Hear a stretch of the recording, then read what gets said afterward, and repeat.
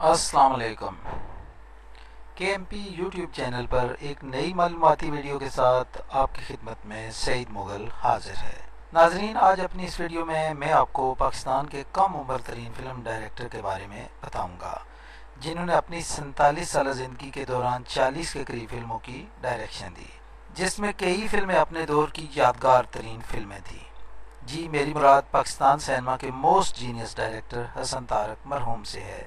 حسن تارک مرحوم چودہ جون انیس سو چونتیس میں برٹش ہندوستان کے شہر امرتسر میں پیدا ہوئے۔ انہوں نے اپنے فلمی کاریئر کا آغاز انیس سو انسٹھ میں فلم نیند سے کیا۔ اس وقت ان کی عمر صرف پچیس سال تھی۔ فلم نیند مشہور گلوکارہ اداکارہ نور جہاں کی بحثیت اداکارہ آخری فلم تھی۔ یہ فلم باکس آفس پر بے حد کامیاب رہی۔ اس فلم کے موسیقار رشید اترے مرحوم تھے۔ انیس سو باسٹھ میں فلم بنجارن ریلیز ہوئی، جس میں نیلو اور کمال نے مرکزی کردار ادا کیے۔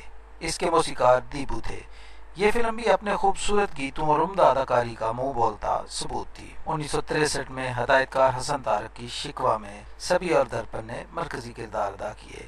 اس فلم کے موسیقار حسن لطیف مرحوم تھے۔ اس سال دوسری ریلیز ہونے والی فلم قتل کے بعد تھی، جس کی موسیقی ترتیب دی تھی دیبو نے۔ اس فلم میں نیلو کمال نے مرکزی کردار ادا کیے تھے۔ فلم شکوا کامیاب رہی، جبکہ قتل کے بعد کو عوام میں کوئی پذیرائی نہ مل سکی۔ انیس سو پینسٹھ میں حسن تارک کی دو فلمیں نمائش کے لیے پیش ہوئیں۔ پنجابی فلم فن خواہ جس کی موسیقی سلیم اقبال نے دی تھی، اس فلم میں علاؤدین اور شیری نے مرکزی کردار ادا کیے تھے۔ یہ فلم بے حد کامیاب رہی۔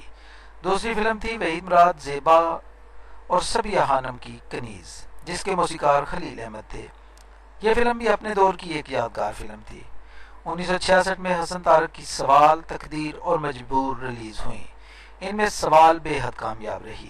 اس کی موسیقی رشید اترے مرحوم نے دی تھی۔ سبیہ خانم نے خوبصورت اداکاری کے جوہر دکھائے۔ انیس سو سڑسٹھ میں دیور بابی اور یتیم نمائش کے لیے پیش کی گئیں۔ ان میں دیور بابی کو عوام میں خوب پذیرائی ملی۔ اس کے موسیقار ماسٹر عنایت حسین تھے، جبکہ اس فلم میں رانی وحید مراد اور سبیہ خانم نے مرکزی کردار ادا کیے تھے۔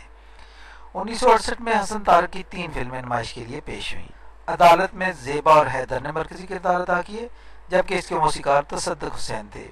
دوسری فلم موسیقار دیبو کی ایک ہی راستہ تھی، جبکہ اس سال کی تیسری فلم ندیم دیبا اور رانی کی بہن بھائی تھی۔ اس کے موسیقار اے حمید تھی۔ یہ فلم اپنے دور کی انتہائی کامیاب فلم تھی۔ باقی دونوں فلمیں کوئی خاطر خواہ کامیابی حاصل نہ کر سکی انیس سو انہتر میں ماں بیٹا اور پاک دامن نمائش کے لیے پیش ہوئی فلم پاک دامن کو عوام میں بہت زیادہ سراہا گیا۔ اس کے موسیقار ماسٹر عنایت سین تھے۔ اس کے کئی گیت بے حد مقبول ہوئے۔ انیس سو ستر میں ہدایت کار حسن تارک کی دو فلمیں نمائش کے لیے پیش ہوئیں۔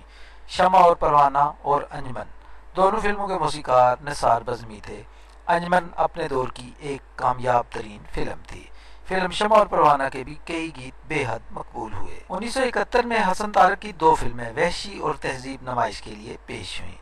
تہذیب میں رانی اور شاہد نے مرکزی کردار ادا کیے تھے۔ اس فلم کی موسیقی نثار بزمی نے مرتب کی تھی۔ یہ فلم اپنے دور کی ایک نہایت کامیاب فلم تھی۔ انیس سو بہتر میں پنجابی فلم ڈول جوانیاں مانے اور عمرہ و جانو دا نمائش کے لیے پیش ہوئیں۔ دونوں فلمیں بے حد کامیاب رہیں۔ انیس سو تہتر میں پیاسا نمائش کے لیے پیش کی گئی اور بری طرح ناکام رہی۔ انیس سو چوہتر میں حسن تارک کی تین فلمیں سینماؤں کی زینت بنی ان میں لیلا مجنو دیدار اور بہشت شامل تھی۔ فلم دیدار اور بہشت نے اپنے خوبصورت گیتوں نشو، ندیم، رانی، وحید مراد کی عمدہ اداکاری پر خوب داد سمیٹی۔ انیس سو پچہتر میں حسن تارک کی دو فلمیں نمائش کے لیے پیش ہوئیں۔ دونوں فلموں میں اداکارہ رانی کی اداکاری لاجواب تھی۔ ان میں پہلی فلم تھی گناہ سے ہی جس میں رانی کے ساتھ محمد علی اور سبیہ خانم نے اہم کردار ادا کیے تھے۔ اس فلم کے خوبصورت گیتوں کی دنیں بنائی تھی موسیقار، نثار، بزمی، مرحوم نے۔ جبکہ دوسری فلم تھی دل ربا، جس کے موسیقار احمد اشرف مرحوم تھے۔